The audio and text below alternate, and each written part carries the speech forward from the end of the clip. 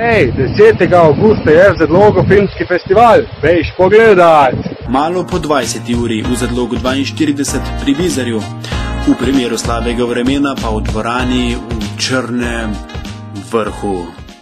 Filmski večer bo vodil stand-up komik Rok Škrlep.